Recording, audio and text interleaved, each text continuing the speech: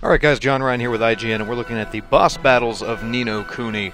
Uh, this is the Cerboreas. I guess it's supposed to be something like Cerberus. Uh, I don't know why they can just call it that, but they didn't. Uh, it's basically just a giant ice wolf monster, I think.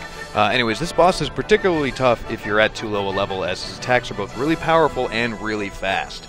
Uh, he's got the ability to maneuver across the arena very quickly, usually attacking as he does so. Uh, yeah, he'll claw and he'll bite at you, as wolves kind of, you know, tend to do, uh, but his most troublesome basic attack is a rolling move that deals a lot of damage to anybody who gets caught in its way. And he also has kind of a nasty habit of repeating this attack quickly, meaning that sometimes he'll deal a nasty 1-2 combo of roly, furry death.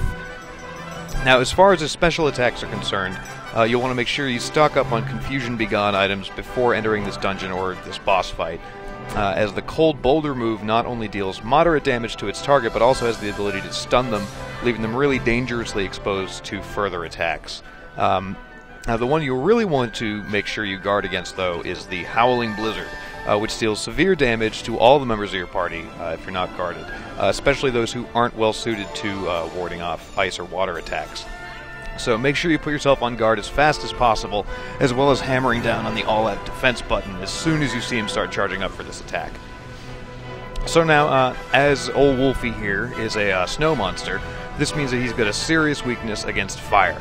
Now, if you've got familiars with fire attacks, especially the strong ones like uh, Hot Huff or the Firewall attack, make sure to use them a lot, especially when he's weakened or in, you know, one of those now's your chance moments. Um, so if you keep on the move, come on strong with heat-based attacks, and keep your thumb hovering over the defend button, you should come out on top in pretty much no time at all. So that'll do it for this boss battle. For more on the fights of Ni no Kuni on the PS3, stay tuned right here at IGN.